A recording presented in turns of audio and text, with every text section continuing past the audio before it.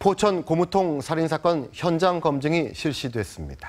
네, 그런데 이 보시는 것처럼 피의자인 이모 씨 빌라 내부에 집기와 쓰레기 더미가 산더미처럼 쌓여 있어서 사람이 사는 집이라고는 믿기지 않을 정도입니다.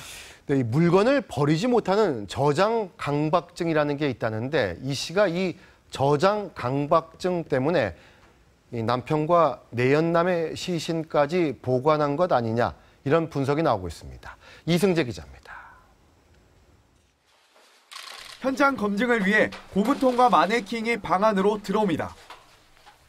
현장 검증은 피해자 이모 씨의 아들의 요청에 따라 비공개로 진행됐습니다.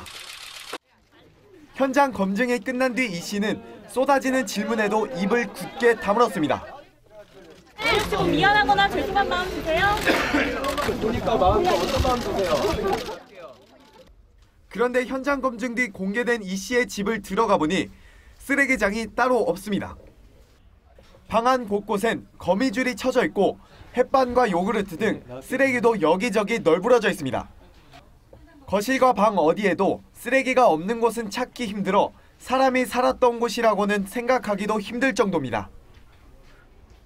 시신이 발견된 지 일주일이 됐지만 이곳 문 앞에서는 악취가 아직도 진동합니다. 그래서 이 씨에게 물건을 버리지 못하고 놔두는 저장 강박 장애가 있을 수 있다는 분석이 나옵니다. 숨진 남편과 살해한 내연남의 시신을 고무통에 넣어둔 것도 이 때문이라는 겁니다. 주변 사람의 죽음이라든가 아니면 충격을 받으면은 보통 정상인 사람이 그런 강박증으로 들어가는 경우도 있고 경찰은 일단 남편은 사망 원인 불명, 내연남은 살해로 잠정 결론을 내렸습니다.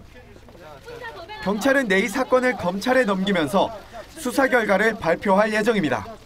TV조선 이승재입니다.